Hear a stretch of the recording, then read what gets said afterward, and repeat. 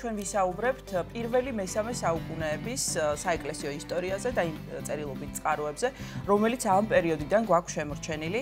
თემაზე სტუდიაში სასაუბროთ მოვიწვიეთ ღვთისმეტყველების მაგისტრი თბილისის სასულიერო აკადემიისა და სემინარის ეკლესიის ისტორიის მიმართულების დოქტორანტი გიორგი ჯანჯღავა. მოგესალმებით გიორგი. ბატონ გიორგი, ძალიან დიდი მადლობა რომ ხართ ჩვენთან ერთად. პირველი მესამე საუკუნე ვიცით რომ ყველაზე რთული პერიოდი არის ქრისტიანებისთვის ისტორიულად, ვინაიდან ამ პერიოდში იდევნებოდნენ იყვნენ ქრისტიანები, შევიწრებული შევიწროებული იყო ეკლესია და გარდა ამისა არსად არც საქართველოში, არც ევროპაში ქრისტიანობას არ ქონდა ოფიციალური სტატუსი. მიუხედავად იმისა, რომ ჩვენ ვიცით პირველ საუკუნეებში, პირველ საუკუნეში, როგორც ევროპაში, ისე საქართველოში ქრისტეს მოციქულებმა იქადაგეს. თუმცა მეორე მხრივ ძალიან ბევრი წმინდანი შეეძინა ამ დროს მართლმადიდებელ ეკლესიას და ამ მხრივად ამ მხრივ ითვლება, რომ ნაყოფიერი პერიოდია. პირველ რიგში მინდა გკითხოთ, თუ რა წერილებითი წყაროები არსებობს, რაც გვაუწყებს და მოგვითხრობს ამ პერიოდის საეკლესიო ისტორიის შესახებ. მოგესალმებით, დილამშვიდობით და მიესალმებით ტელემაყურებლებს. მადლობას გიხდით მოწვევისთვის. დიახ, ალბათ სანამ უშუალოდ ისტორიაზე დავიწყებდეთ საუბარს, ორი სიტყვით უნდა ვახსენოთ წერილობითი წყაროები, კონკრეტულად ის წერილობითი წყაროები, რომელიც აი ამ ეპოქაზე, ჩვენ სასაუბრო თემაზე გვიქმნის წარმოდგენას და აა პირველ რიგში ალბათ უნდა ვახსენოთ 4 ძირითადი ფუნდამენტალური ფუნდამენტური კრებული არსებობს საეკლესიო ისტორიოგრაფიაში. პირველი ეს არის მინას პატროლოგია, ყველასთვის კარგად ცნობილი მინას პატროლოგია, რომელიც აი ამ მინა პიროვნება მინასთან არის დაკავშირებული, მან ძალიან დიდი შრომა გასწია აი ამ კრებულის შედგენისთვის 261 ესეთ 221 ტომი ლათინურენოვანი და ესე თქვა 161 ბერძნულენოვანი ავტორი შემოკრიბა მან და ძალიან მნიშვნელოვან ესე თქვა კრებულს წარმოადგენს. ასევე შეიძლება დავასახელოთ დომენიკო მანსის კრებების ოქმები, რომელიც 30 ტომად არის შეკრებილი და ესეც ფუნდამენტალური ფუნდამენტური კრებული არის ჩვენთვის საეკლესიო ისტორიოგრაფიის შესწავლის კუთხით და აი დღესაც თანამედროვე მეცნიერებაში ერთ-ერთი ყველაზე ხშირად ციტირებადი არის სწორედ დომინიკო მანსის აი ეს 30 ტომეული კრებული. ასევე შეიძლება დავასახელოთ იოანე ბალანდი ან ბალანდისტების ეს იყო თქვარი იეზუტების ორდენი, რომელთან დაკავშირებით, აი იოანე ბალანთან დაკავშირებით არის ერთი ათეული ტომები, ტომები დაუშვათ რამდენიმე ათეული ტომი, რომელიც სწორედ აი ამ პერიოდს ისტორიოგრაფიაში, საეკლესიო ისტორიოგრაფიაში გადმოგცემს და ძალიან მნიშვნელოვანი არის, სხვათა შორის ძალიან საინტერესო არის ერთ-ერთი სათაური აი ამ ერთ-ერთი შრომისა, მის მასთან დაკავშირებულის.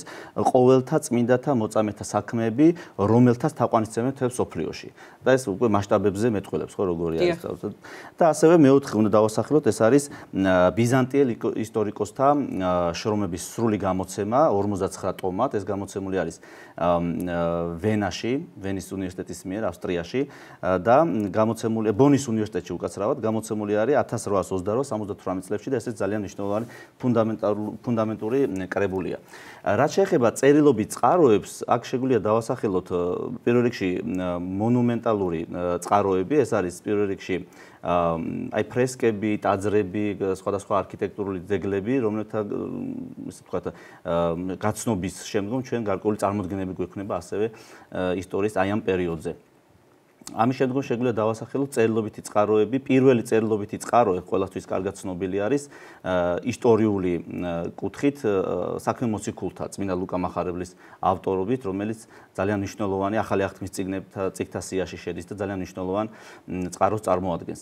ასევე უნდა დავასახელოთ ალბათ აუცილებლად ევსები კესარიელის საეკლესიო ისტორია, რომელიც 10 წიგნად არის გამოცემული, ასევე შედგენილი აქვს მას 10 წიგნად, ასევე კონსტანტინე დიდის ცხოვრება, რომელთან დაკავშირებითაც ალბათ მოგვიწეს საუბარი და ქრონიკები ასევე.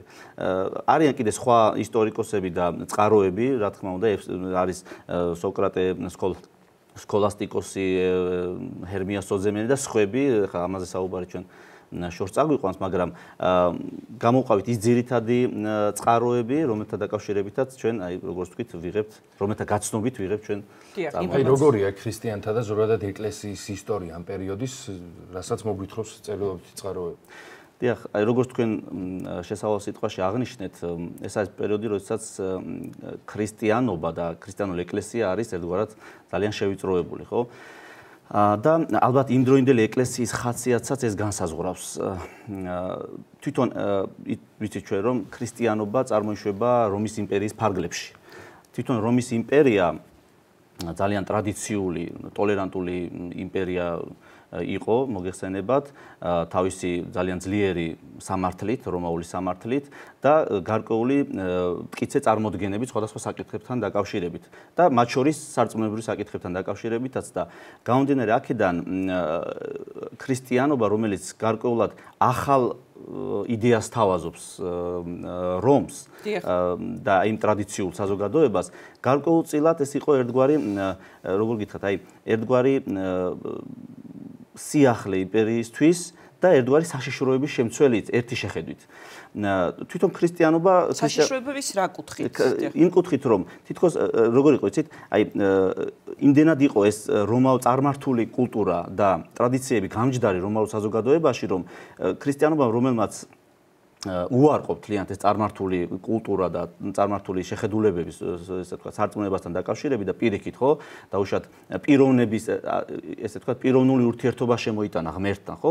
აი ეს აღმოჩნდა ცოტა რომაული საზოგადოების ინტელექტუალებისთვის საფრთხის შემცველი იმიტომ რომ მათ დაინახეს აი ამ ტრადიციების რყება თითქოს აი ამ ქრისტიანობაში ანუ უფრო მეტი თავისუფლება მოიტანა ხო ადამიანისთვის რა თქმა უნდა რა თქმა უნდა.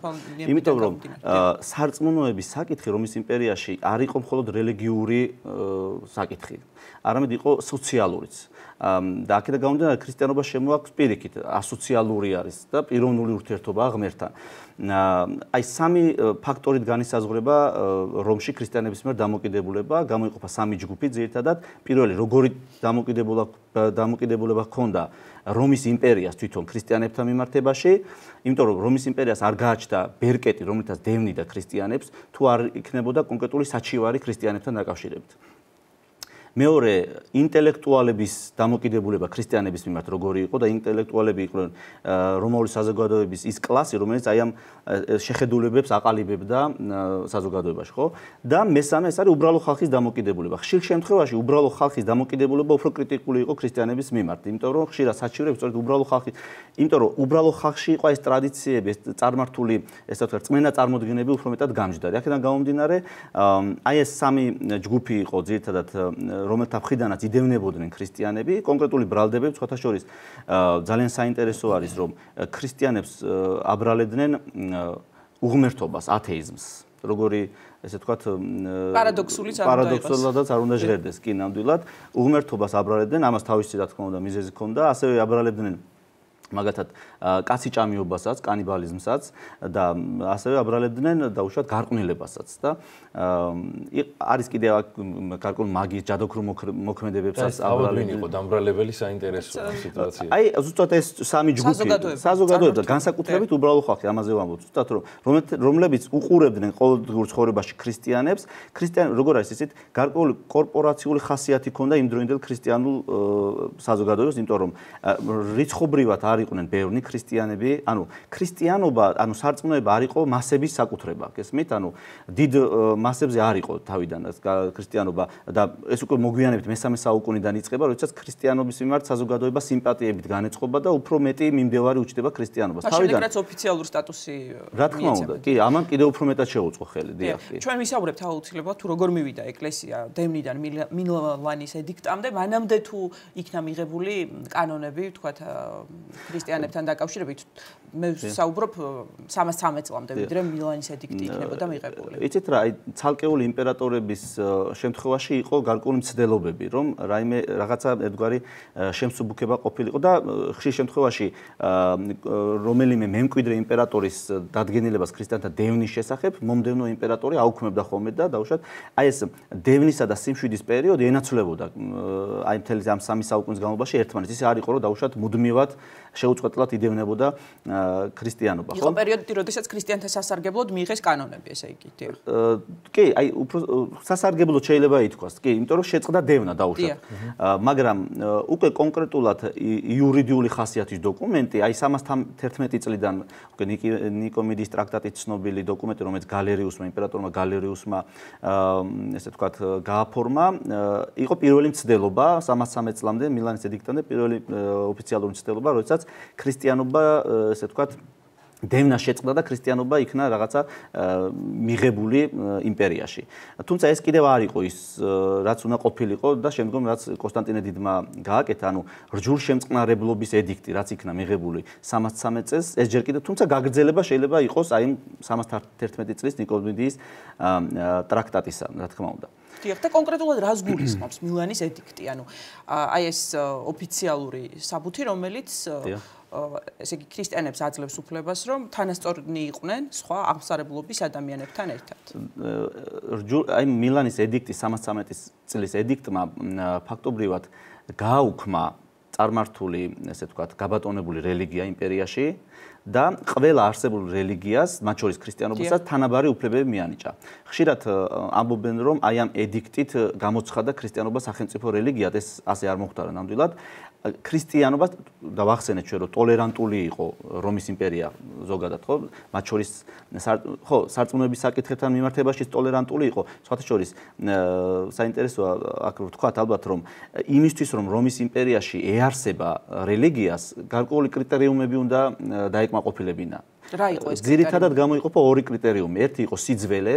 ანუ სხვაგვარად რომ ვთქვა გარკვეული ისტორიის მქონე უნდა ყოფილიყო რელიგია და მეორე ეს იყო ის რომ უნდა ყოფილიყო კონკრეტული ხალხების ან ერების ერის საკუთრება რელიგია. ანუ სხვაგვარად რო ვთქვა, ეს უნდა ყოფილიყო მასების საკუთრება, ანუ უნდა ყოლოდა მრავალრიცხოვანი მიმდევარი. რაც იმდროინდელი ქრისტიანობისთვის იმდროინდელ ქრისტიანობაში ეს ასე არ იყო, იმიტომ რომ როგორც ვთქვით, ცირერიცხოვანი მიმდევრები ყავდათ, ხო?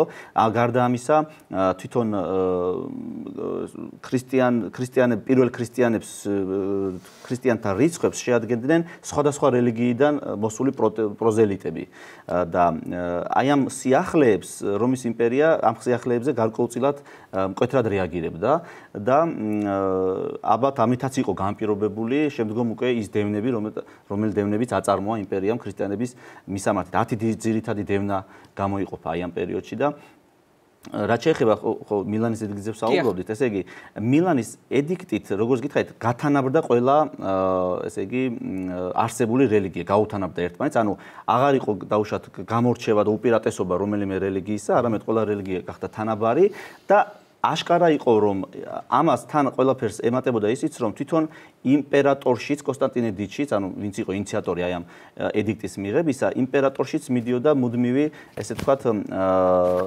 წინსვლა და აღქმა თავისი თავისა როგორც ქრისტიანად და შემდგომი კანონები, რომლებიც მან მიიღო ქრისტიანთა სასარგებლოს, სწორედ ამას უსვამს ხაზს, რომ იმპერატორი არ დაკმაყოფილდა მხოლოდ აი ამ გათანაბრებით რელიგიისა, ქრისტიანობის გათანაბრებით სხვა რელიგიებთან, არამედ კიდევ და კიდევ უფრო მეტი პრივილეგიები მიანიჭა ქრისტიანობას. დიახ, აი თვითონ ის ფაქტი, რომ მან მიიღო მილანის ედიქტი ლიკინიუსთან ერთად, ლიცინიუსთან ერთად, ხო, რომელიც აღმოსავლეთ რომს მართავდა. იყო თუ არა კონსტანტინე დიდის მხრიდან წმენის აღიარება? თუ ჯერ კიდევ არა, თქვა ეს მერე მოხდა მისი გაქრისტიანება. იცით რა, მისი გაქრისტიანება ზოგადად მიჩნეულია, რომ ბოლოს მოხდა, სიკვდილის წინ მოხდა, მაგრამ როგორც წმენის აღიარება შეიძლება ჩაითვალოს, იმიტომ რომ მას როგორც ესე ვთქვათ, პირველ ქრისტიან იმპერატორს და ჩვენ აი ევსები კესარელი რომელიც ჩვენ ვახსენეთ თვითონ ევსები კესარელის გვამცნობს რომ აი ეს რელიგიური ცნობიერება ჯერ კიდე მისი მამის აი იმპერატორი კონსტანცი ქლორის დროს თვითონ კონსტანცი ქლორი უყალიბებდაო მის ოჯახს და მათ შორის კონსტანტინე დიცაც აი ამ რელიგიურ ცნობიერებას ერთი ღმერთის შესახებ რწმენას და შესაბამისად აი ეს რწმენა ქრისტიანული რა თქმა უნდა იმპერატორში არსებობდა თავისთავად. და ამან უკვე გამოხატულება პოვა აი ამ ედიქტით და შემდგომი გადაწყვეტილებებით რამც მან მიიღო. აი ამ კანონებზე ხარ აზე თუ საუბრობთ იმ პერიოდის კანონები თუ არის თანამედროვეობაში დღესაც შემორჩენილი და რითაც ასე ვთქვათ ხელმძღვანელობთ ეხეთით კანონთა შინაარსით თუ ასე ვთქვათ ვიხემძღვანელებთ შეიძლება ითქვას რომ ცალკეულ შემთხვევებში გარკვეული ინტერპრეტაციებით ეს კანონები არის რა თქმა უნდა თანამედროვე კანონმდებლობაშიც მიმოქცევაში ასე ვთქვათ როგორც დაუშვათ რომაული სამართალი არის მემკვიდრეობა თანამედროვე იურისპრუდენციისა ხო სამართლისა აი ესე შეიძლება ითქვას რომ აი ეს კანონები რომელიც თავისი შინაარსით და სულისკვეთებით არის ქრისტიანული როგორც საერო კანონმდებლობაში ასევე საეკლესიო სამართალში და კანონმდებლობაშიც გარკვეულწილად კიდევ ერთხელ უნდა ვთქვათ რომ აი გარკვეული ინტერპრეტაციებით არის რა თქმა უნდა გარკვეული დოზით დიახ, კონკრეტულად რას გულისხმობთ ეს კანონები? თუ შეგიძლიათ რომ რაც მაგალითებიც მოიტანოთ და კი, აი აი სპეციალურად დეტალურად, დიახ. კი, წამოღებული მაქვს, ამოწერილიც მაქვს კანონები, აი მაგალითად 313 წლის წლის კანონი ერთ-ერთი პირველი რაც კონსტანტინე დიდმა გააკეთა იყო ის რომ დევნილებს ესე ვთქვათ დევნილ ქრისტიანებს და სასულიერო პირებს დაუბრუნა წართმეული ქონება. ეს იყო ყველაზე პრინციპული იმპერატორისთვის და ესე ვთქვათ, აი ამის აღსრულება ძალიან ჩქარობდა იმპერატორი. დაუბრუნდა დევნილებს ჩამორთმეული ქონებები, შემდგომ 313, 319, 335 წლის კანონებით აიკრძალა დაბეზღება, რაც საკმაოდ აქტუალური იყო იმპერიაში და ეს გარკვეული რაღაც დამბეზღებლური ინსტიტუტი ძალიან იყო განვითარებული. აიკრძალა ჯვარცმა, ასევე როგორც სიკვდილით დასჯის იარაღი. აიკრძალა სხვათა შორის ძალიან საინტერესოა რომ მოტაცება ქალისა ოჯახის შექმნის მიზნითაც და ეს იყო ძალიან ასე ვთქვათ, მკაცრად იმპერატორის მიერ აკრძალული. ასევე მაგალითად კვირა დღე გამოცხადდა დასვენების დღეთ, და სწორედ აი ეს ერთ-ერთი მაგალითი არის რაც დღემდელობაშიც გარკვეულ გამოვლინებას ხო კი შეიძლება კვირა დღე ესე არ არის დაუშვათ მაგრამ რაღაც ერთი დღე დასვენების დღეთ არის აღიარებული და კვირა დღე იყო აი იმპერატორის დროს. და აი ამ კვირა დღეს უბრალოდ იყო ერთი გამონაკლისი რომ ესე ვთქვათ, სოფლის მეურნეობის დარგში დასაქმებულებს არ ეხებოდათ ეს კანონი, გამომდინარე იქიდან, რომ ისინი იყვნენ დამოკიდებულნი რაღაც ამინდზე, ასე შემდეგ, რაც შეიძლება და ხელშემშლელი ყოფილიყო. დიახ. ელენე დედოფლის როლზეც მინდა გკითხოთ, აი მილანის ედიქცევს აუბრობდი, ხო? მისი როლი როგორც ცხოლმყოფელი ჯვრის აღმომჩენის და ჩვენ ვიცით, რომ ის მოციქულთა სწორი არის, ასე ვიხსენიებთ. დიახ, მოციქულთა სწორი ელენე დედოფალი და კონსტანტინე დიდიც მოციქულთა სწორად მეორე პავლედაც მოიხსენიება ის ძალიან საინტერესოდ. დიახ, ელენე დედოფლის როლი ძალიან მნიშვნელოვანი არის თვითონ კონსტანტინე დიდის პიროვნების ჩამოყალიბებაშიც ასევე და ასევე როგორც თქვენ ახსენეთ, აი ამ ჯვარის და საბჭოალის აღმოჩენაში, რომელიც თვითონ უშუალოდ ელენე დედოფლის, ესე ვთქვათ, მონდომებითა და ზედამხედველობით მოხდა და ალბათ ყველაზე დიდი პასუხი იყო ის, რომ მართლმადიდებლური ეკლესია მის წმინდანად შერაცხა აი ამ დამსახურებების გამო ელენე დედოფალი. და დევნაზე ვსაუბრობთ და აუცილებლად უნდა გკითხოთ.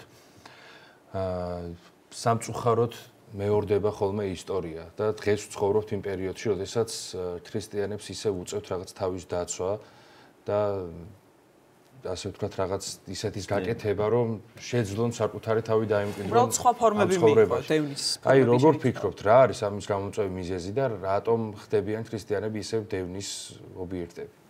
ალბათ ისევ ქრისტიანობაში უნდა ვეძებოთ ამის საფუძვლები კარგი გაგებით, იმიტომ რომ თვითონ ქრისტიანობა პოზიციურად ხშირ შემთხვევაში არის მამხილებლური.